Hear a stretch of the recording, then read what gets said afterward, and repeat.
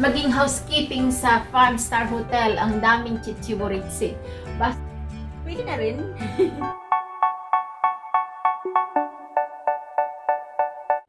okay.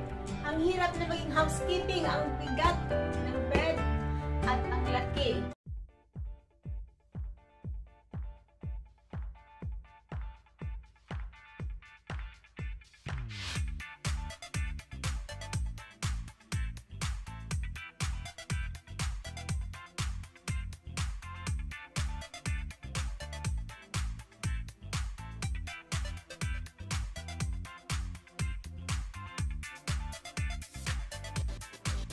Good morning mga guys!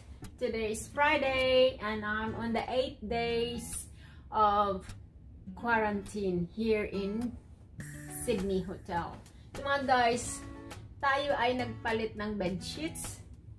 Tulad ng kahapon, delivery right in front of my door. It was a surprise. Kasi akala ko ay sila ang gagawa but we are not allowed to get in here So, no face-to-face. -face. So, kami ang gagawa nito. Bawat room ay isang tao. So, kanya-kanya kayong ayos ng bed. Mga guys, patapos ko na. Naisip ko lang na hindi ko nakuha kanina. Basta ni-strip ko lang siya. At ito na yon Isang, isa. Ang dami. Kahit winter nga. Dalawa.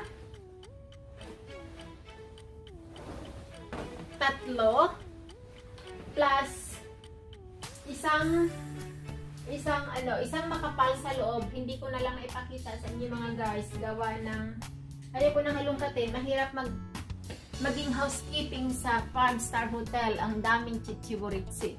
Basta ginawa ko lang yan. Bahala na dahil hindi ko wala akong tiyaga dyan.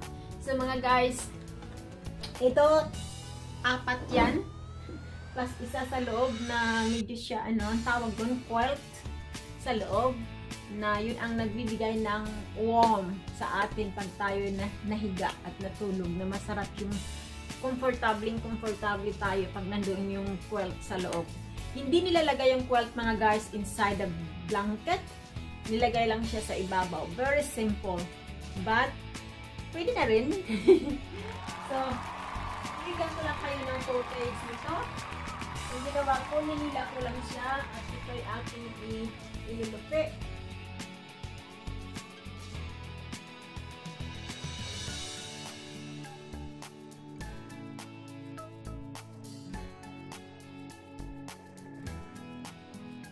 Okay. Ang hirap na maging housekeeping, ang bigat ng bed at ang laki. Dahil ito daw ay 5-star hotel mga guys. Kasi doon sa Mariba, yung business ni, ni asawa ko ay ano, motel lang siya.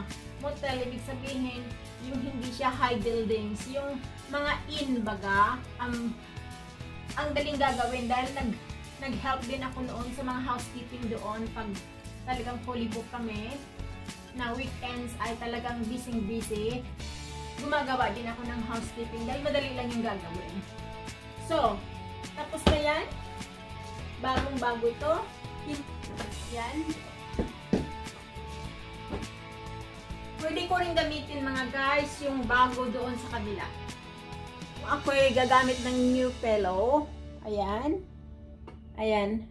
Yung, yung doon.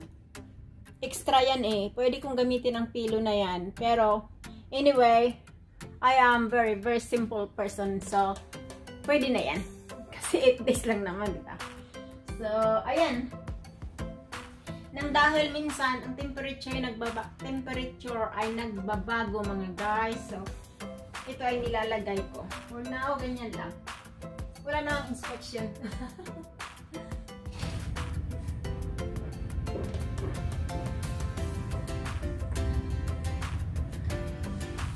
Hello mga guys! Today is Friday and my 8 days. So, dumating ako rito ng Friday last week. pa rin si Linda, tulad ng sabi ko, ay andito pa rin ako sa aking makapangyarihang quarantine. So mga guys, it's lunch time. Uh, the time check is, tignan natin. Ayoko nang tumayo. Nagro-roll na lang ng chair. Alauna, 1 p.m. Dito sa Sydney. So, sa Pilipinas is uh, 11 dahil 2 hours difference natin mga kabayan ko. So mga guys, may lunch tayo. Ay, naglikrama ko kahapon gawa ng nalang curry na I love curry but not not for everyday. Akala ko may rice today but no. We are in a city. So mga guys, here is my lunch like. Yan, sa loob. Isang apple. An apple a day keeps the doctors away. Yun ang kasabihan. Ang dami ko ng apple doon. Ayan. Ayan, sa aking bar. Mini bar. Kasi, may juice na naman ako. Pero try kong kainin ito mamaya. So, as usual, ayan. Ito ay pagkaing western pa rin pasta lunch. Pastang sumora kung sa Bisaya pa. Pastang kapuya. pastang sumora. Pastang lisura. Basta pasta. cream cream. Ayaw ko ng mga cheese. Ayaw ko ng mga creamy creamy. Ewan ko ba. Basta ayaw ko lang sa taste na yan. Gusto ko bang bagoong na lang o bulad o steam na lang ng gulay. Huwag lang yung mga, ito, look at this. Ayan.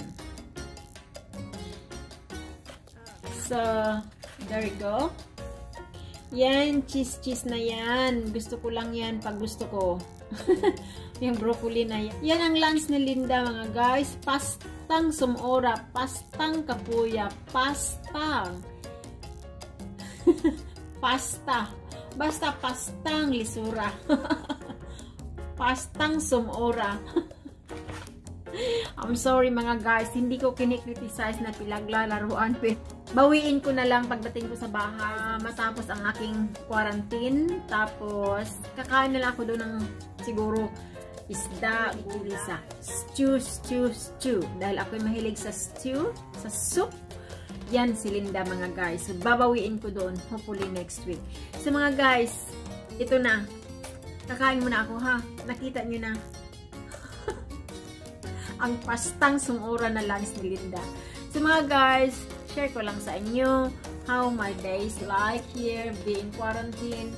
So yeah, that was it. Cheers tayo mga kaibigan. Inom-inom ng tubig para hindi madulunan sa pastang sumura. Pastang lisura. okay.